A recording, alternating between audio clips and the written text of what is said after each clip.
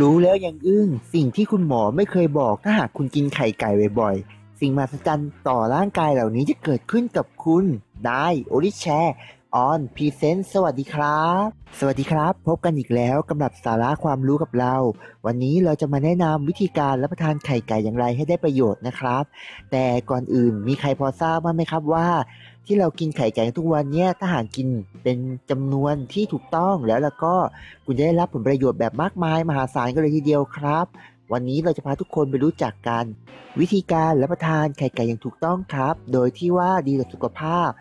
ส่วนใหญ่คนที่ชอบรับประทานไข่ไก่ มักจะนำไปทอด หรือนำไปลวกใช่ไหมครับ แต่สิ่งที่รับประทานได้ดีที่สุดนั่นคือการต้มครับ เพราะถ้าหากผู้ที่ต้องการรับประทานเพื่อเอาประโยชน์ของไข่ไก่ และวิตามินแร่ธาตุ ไข่ไก่เนี่ยต้มเนี่ยสุดยอดมากเลยนะครับ เพราะว่า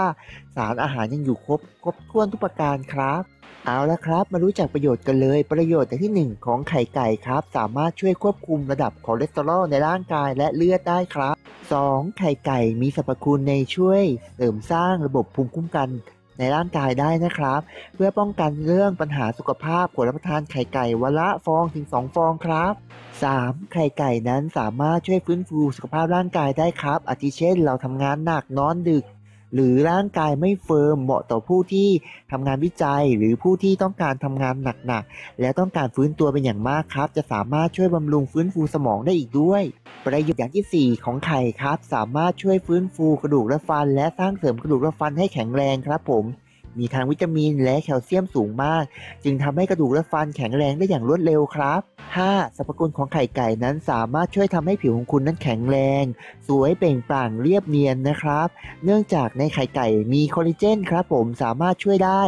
เกี่ยวกับเรื่องผิวพรรณครับประโยชน์อย่างที่ 6 ของไข่ไก่ครับ ไข่ไก่ดีต่อสุขภาพดวงตาเป็นอย่างมากครับ เพราะมีสารต่อต้านอนุมูลอิสระครับ ซึ่งสามารถแก้ปัญหาประเภทเช่น จอประสาทตาเสื่อม หรือโรคต้อกระจก หรือผู้ที่ใช้คอมพิวเตอร์ หรือโทรศัพท์มือถือบ่อยๆ นานๆ ก็สามารถช่วยได้นะครับ ประโยชน์อย่างที่ 7 ของไข่ไก่ครับ สามารถช่วยลดน้ำหนักได้